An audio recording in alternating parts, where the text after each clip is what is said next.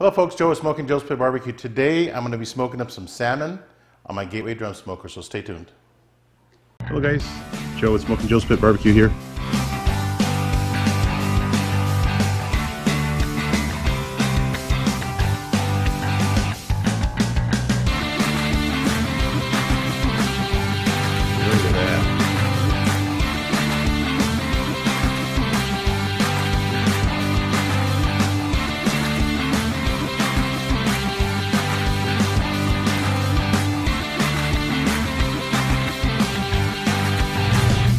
Guys.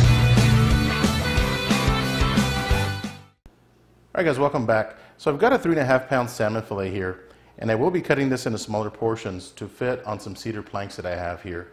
Uh, these cedar planks have been uh, sitting in water for about an hour now, just in a little Tupperware bowl. Um, I covered them completely all the way to the top and then put the lid and took the air out of the uh, Tupperware so it's nice and airtight. That way every ounce of the cedar plank is getting covered in water or soaked in water I should say. So real simple process guys, get a really sharp knife and I'm going to cut this uh, salmon down into smaller portions. So this is a very small portion but I'm going to try to save it. And this salmon, um, they did remove the skin off the bottom, which I wasn't too happy with, but we're going to make this work. So there we go. I'm going to try to keep them all the same size.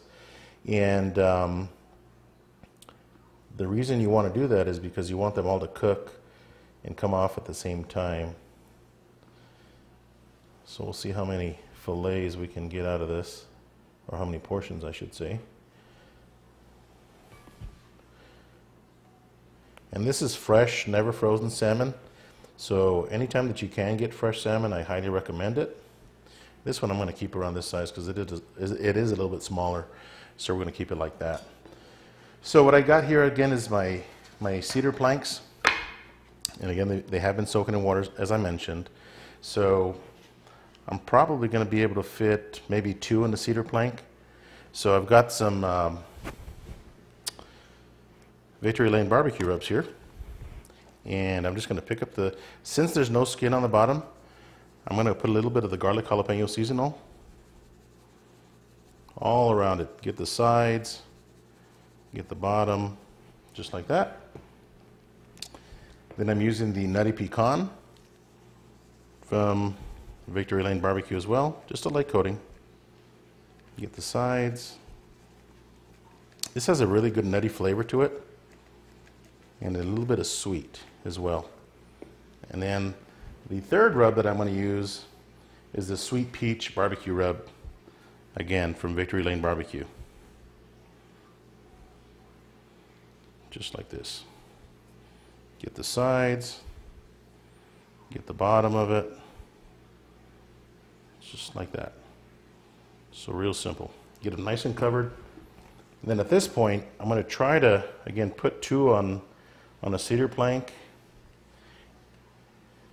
See if I can get them to fit. Yeah, I think I can get it to work.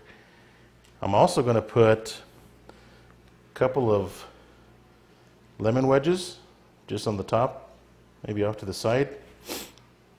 And I've got some rosemary. So, real simple process, guys. I'm going to get the rest of these uh, fixed up and ready for the smoker, and I'll bring you guys back, so stay tuned. All right, guys, we are outside. I want to show you the salmon, and it's sweating out with the rubs that I put on there. And, um, I mean, that already looks good. It's not even cooked. So, we're going to go ahead and place these in my drum smoker. I've got the temperature right at 300 degrees. So, I'm going to try to organize. I've got four planks in here. So, there's one. Look at how pretty that is. Whew, man. There's two. And I've got about half a basket of um, lump charcoal. There's a third one. And I did drop some uh, mesquite chunks in there as well.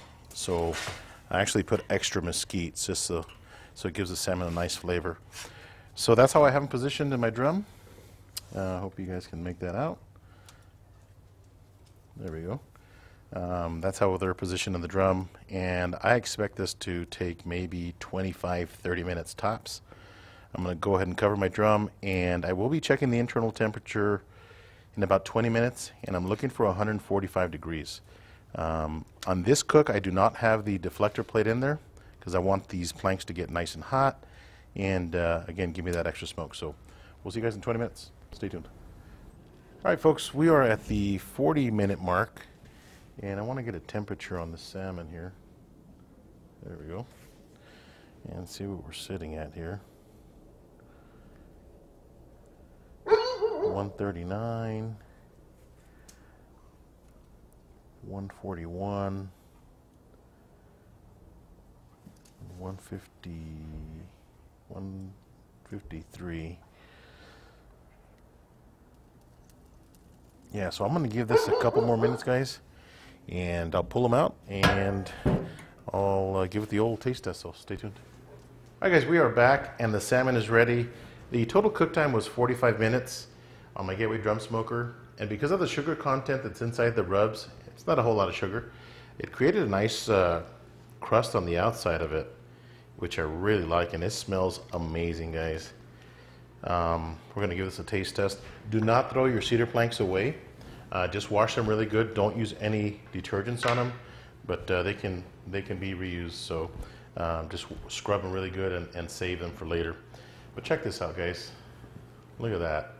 Smells amazing. We're going to give this a taste test. Got a little bit of jasmine rice and some asparagus as well. But uh, I want to give this salmon a try. Now I'm kind of happy that the skin was not on the bottom because I was able to put rub on the bottom as well. So, cheers guys. Nice and hot. Mmm. Wow.